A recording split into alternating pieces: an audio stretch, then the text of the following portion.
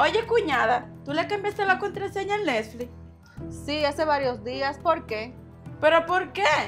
Oh, porque cuando yo fui a ver mi serie, no me dejó porque me decía que había muchas personas conectadas. ¿Pero y qué yo tengo que ver con eso? ¿Cómo que no tienes que ver? Si solo tú y yo teníamos la contraseña y yo no se le he dado a nadie. ¿Y ahora vas a llorar por una cuenta de Netflix? Es más, yo se la di a mis amigas, pero tú no tenías el derecho de cambiarle la contraseña.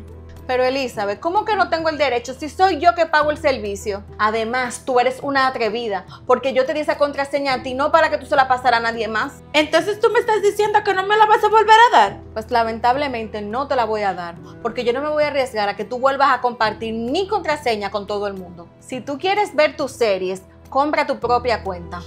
Tú lo que eres una tacaña egoísta conmigo. Si tú no me das la cuenta, tú vas a tener serio problema conmigo. A mí no me importa si te gustó o no. Yo lo que no considero justo es que cuando yo vaya a ver una serie en la cuenta que yo estoy pagando, no la pueda ver porque no funcione. Tú sabes que yo no tengo dinero para pagar Netflix. Tú sabes que yo no estoy trabajando. La verdad es que uno no le puede dar confianza a las personas. Abusan. Porque tú sabes con el sacrificio que yo pago mi cuenta de Netflix y le doy la contraseña a ella para que ella venga y la comparta con el otro. La verdad es que no se puede confiar en nadie.